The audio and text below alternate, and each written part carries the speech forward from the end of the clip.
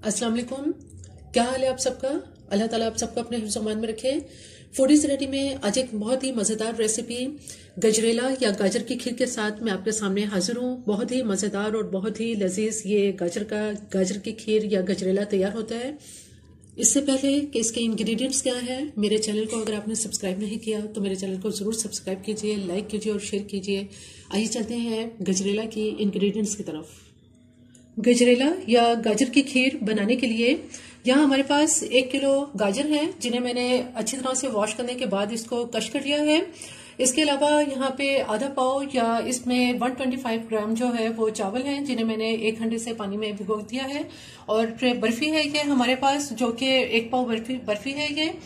250 ग्राम इसके अलावा हमारे पास यहाँ पे एक कप भर के जो है वो मैंने चीनी ली है। जितनी हमें ज़रूरत होगी उतनी चीनी इसमें इस्तेमाल कर लेंगे। नट्स है यहाँ पे कुछ, जिसमें रेजन्स है, किशमिश है, जो कि हम तकरीबन चार टेबल स्पून जो है ये किशमिश ली है। कुछ इसमें पिस्ते हैं, कुछ बादाम हैं, जिनको स्लाइस में जो है वो कटिंग कर लिए, इसको ऊपर इसको गार्निश करेंगे इससे और नारियल है जो कि क्रश किया हुआ है।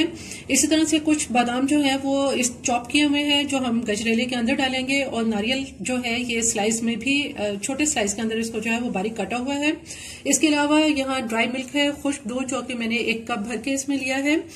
दूध के अलावा इस वक्त सारी चीज़ें हैं। अब हम सबसे पहले गाजर को जो है, वो इसमें पकाने के लिए रखते हैं। यहाँ देगची के अंदर इसमें पानी भी नहीं है, कुछ भी ना दूध है, कुछ भी नहीं है, ये खाली देगची है। इसके अंदर हम ये सारी गाजर डाल देंगे, ताकि गाजर का जो अंदर इसमें जो पानी होता है, वो बहुत अच्छी तरह से खुश्क हो जाए। और उसके बाद फिर मैं इसमें दूध डालूँगी। इसको अभी मीडियम आँच पे मैंने इसको रखा है, ताकि गाजर का जो पानी है, वो इसमें बिल्कुल खुश्क हो जाए। गाजर को तकरीबन पाँच से सात मिनट मैंने पकाया है। इसमें जो इसका पानी था, वो बिल्कुल खुश हो चुका है। यहाँ देखिए में तीन किलो दूध गर्म हो रहा है। इस दूध के अंदर जो गाजर हमने, जिसका पानी खुश किया है, ये सारी गाजर डाल देंगे। ताकि दूध के अंदर गाजर जो है, ये पानी बिल्कुल ना छोड़े और सिर्फ़ दूध का इसमें जायका आए। सारी गाजर इसमें दूध में डाल दी है। अब जो हमारे पास चावल हम मैंने पानी में भिगोए हुए थे। ये चावल भी इसके अंदर डाल देंगे। और इसके अंदर अभी चीनी बिल्कुल नहीं डालनी। जब तक चावल इसके अंदर गल नहीं जाते, उस वक्त तक इसमें चीनी नहीं डालेंगे। चावल जब गल जाएँगे, फिर इसके बाद इसमें चीनी डालेंगे। अभी मैं इसको कवर करके रख देती हूँ। दूध के अंदर उबाल आना शुरू हो चुका है। अब इसकी आँच में ऐसा कर दूँगी और बहुत ही हल्की आँच पर इसको पकने देंगे। जितनी हल्की आँच पर ये पकेगा, उतना ही ये ज़्यादा लजीज और मज़ेदार तैयार होगा। गजरेले को पकते हुए तकरीबन एक घंटा हो चुका है। अब इसके चावल बहुत अच्छी तरह से गल गए हैं। इसमें ये चीनी डाल देंगे।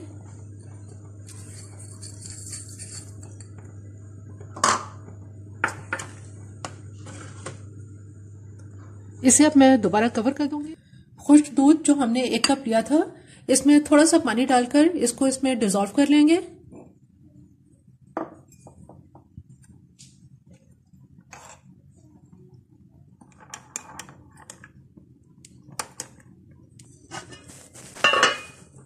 जो दूध हमने डिजोल्व किया है खुश दूध ये इसके अंदर मिक्स कर देंगे।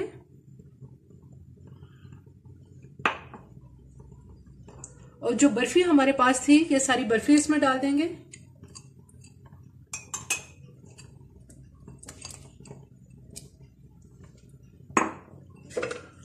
नट्स में से सिर्फ़ नारियल इसके अंदर डालेंगे अभी, और इसके अलावा बाकी अभी कोई नट्स इसमें नहीं डालेंगे, ताकि नारियल इसमें अच्छी तरह से मिक्स हो जाए और सॉफ्ट हो जाए।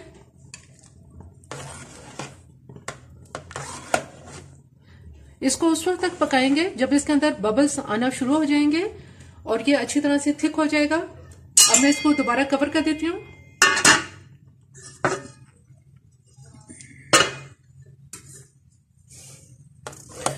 गजरेला तकरीबन तैयार हो चुका है। तकरीबन ढाई से तीन घंटे इसको पकते हुए हो गए हैं। इसकी थिकनेस जो है वो आप दे सकते हैं। इसमें चावल बिल्कुल भी नज़र नहीं आ रहे।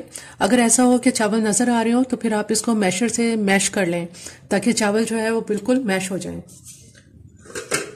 अब इसके अंदर मैं किशमिश डाल दूँगी, और बादाम जो हमने चॉप किए थे, वो बादाम डाल देंगे।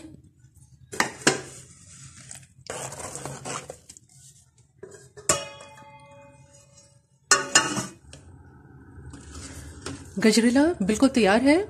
इसको अगर ज़्यादा पकाएँगे तो ये बहुत ज़्यादा थिक हो जाएगा। इसलिए अब मैं इसका चूल्हा बंद कर देती हूँ।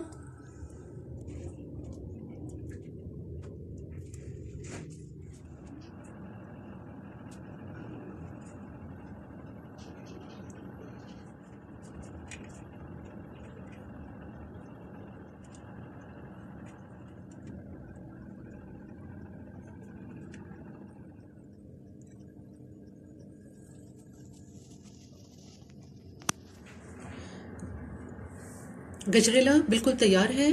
बहुत ही मज़ेदार और बहुत ही लजीज के गजरेला तैयार होता है।